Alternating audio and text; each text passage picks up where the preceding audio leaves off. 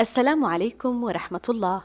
وصفة اليوم سبق طلبتوها مني خبز الصاج الخفيف للتغميس والسندوتشات بطريقة سهلة وسريعة والنتيجة مرة رهيبة. وبدون ما نحتاج الصاج الخاص بخبز الصاج بسويه بالصاج العادي يلي متوفر بكل بيت سواء كان تيفال أو معدن. وبسويه معاكم بخليط من الدقيق الأبيض والأسمر.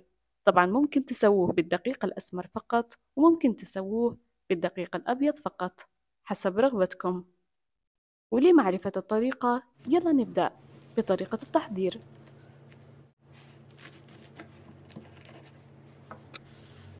ولعمل خبز الصاج بحط في وعاء العجن ثلاثة أكواب دقيق أبيض واثنين أكواب دقيق أسمر ونصف ملعقة كبيرة سكر ونصف ملعقة كبيرة ملح. وبعدين بنخلط المكونات الجافة تمام؟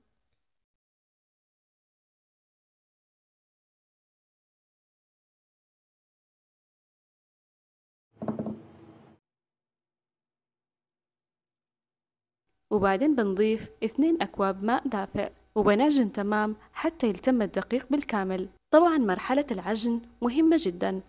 بداية بنعجن العجينة تمام حتى تلتم مع إضافة باقي كمية الكوب الثاني من الماء بالتدريج مع العجن المستمر حتى نحصل على عجينة ملتمة وما تتقطع. ولما نحصل على عجينة ملتمة بنحط شوية ماء على العجينة وبعدين بنغطيها لمدة عشر دقائق.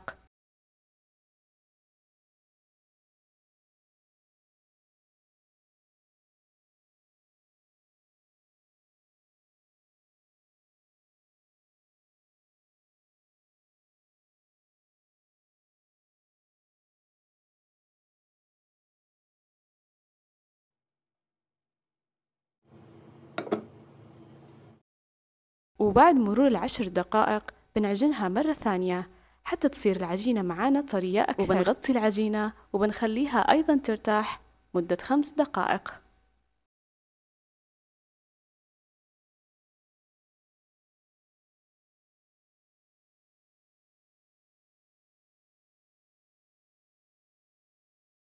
وبعد ما مرت خمس دقائق بنعجنها للمرة الثالثة حتى تصير العجينة معانا طرية أكثر وملمسها ناعم وأثناء الفرد والتسوية ما تتقطع معنا. مدة عجن العجينة بالكامل حوالي ربع ساعة.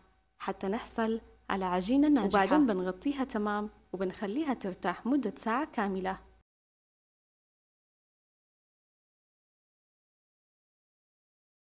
وبعد مرور ساعة كاملة بندهن صحن بشوية زيت. وبعدين بنقسم العجينة إلى 14 كرة متساوية. ممكن نقسم العجينة إلى أقل من 14 كرة. إذا تحبوا خبز الصاج حجمه أكبر من الموضح.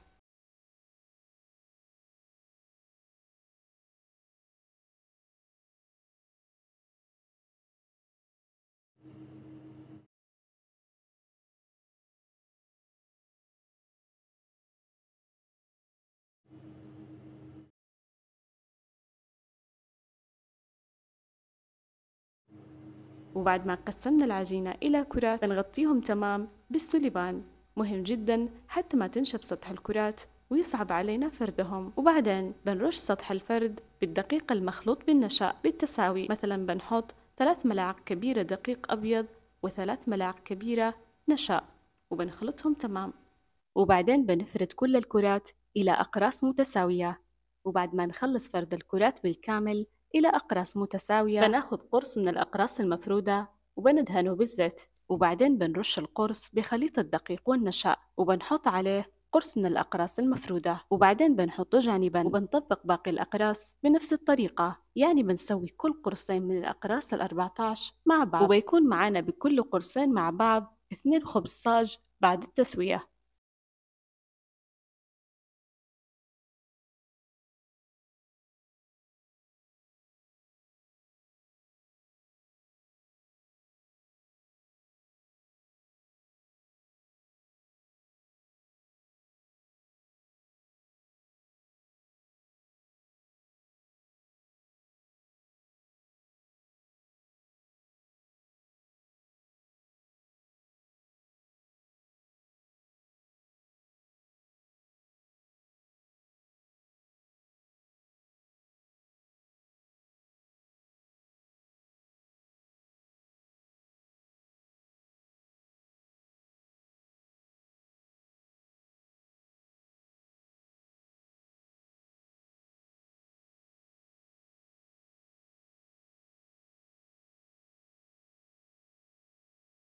وبعد ما خلصنا لصق كل قرصين مع بعض بنفرد بق بنفرد أول قرصين لصقناهم ببعض. وبنفردهم فرد خفيف بدون الضغط القوي أثناء الفرد. وطريقة الفرد بنفرد من الوسط لأطراف الكرة المفرودة كما هو موضح حتى يصير معنا قرص كبير وخفيف.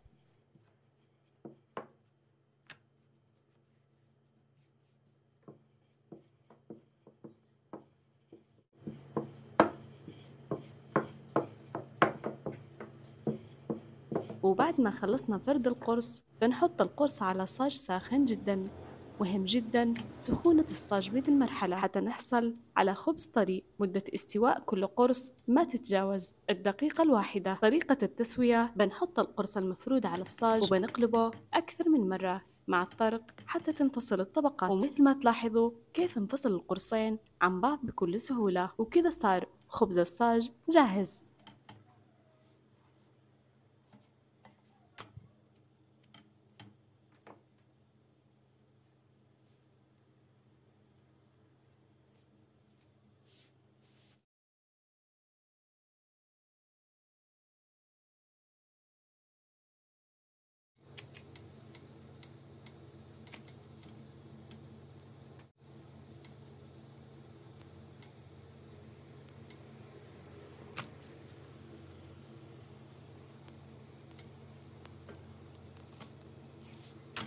وبعد ما نخلص خبز كل قرص بنحطه بمنشفة خاصة حتى يضل معانا طري وما ينشف. وبعد ما نخلص خبز كل الأقراص بنحطهم في كيس نايلون حتى يكونوا معانا طريين أكثر. وهنا بعد ما بردوا الأقراص مثل ما تلاحظوا كيف ينفصلوا بكل سهولة. الخبز طري جدا وخفيف.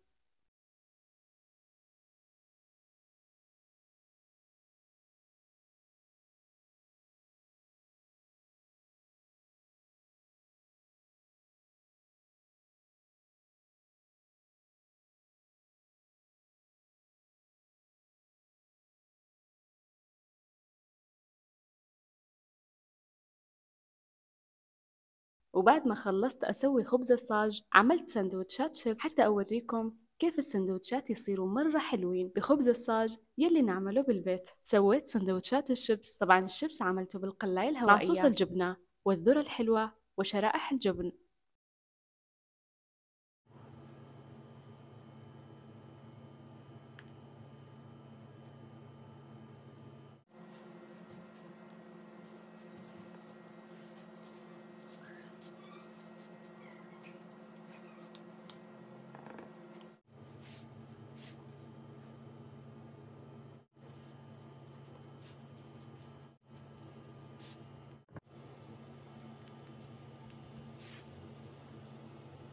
وبعدين حمرت السندوتشات على صاج مدهون بشوية زيت.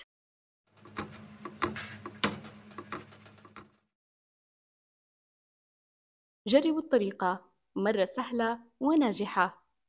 وأخيرا أتمنى تكونوا استمتعتوا في فيديو اليوم ولا تنسوا مشاركة الفيديو مع أصدقائكم. في أمان الله.